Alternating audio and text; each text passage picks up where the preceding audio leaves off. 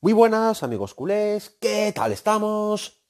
Después del gran partido del Barcelona contra el Borussia Dortmund en Champions, ganando por 3 a 1 delante de su afición y clasificándose para octavos como primeros de grupo, viendo por fin una asociación y química total entre Leo Messi y Antoine Griezmann, con abrazo incluido, la única nota negativa fue otra vez la lesión de Ousmane Dembélé, que se ha vuelto a romperse por décima vez desde su llegada al Barça.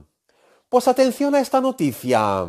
Según una fuente alemana de prestigio, Bartomeu está negociando con el Borussia Dortmund la vuelta de Dembélé, a cambio del crack inglés Jadon Sancho. El club alemán está dispuesto a aceptar el trueque, ya que Jadon no está a gusto y quiere salir en este mercado invernal. Pero por una condición. Dembélé más 50 millones de euros. La misma fuente informa que los dos clubes están a punto de llegar a un acuerdo y la operación podría cerrarse por Dembélé más 30 millones de euros.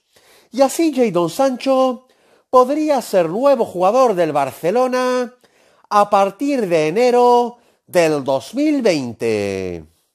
Esto ha sido mi gran noticia de hoy, amigos culés.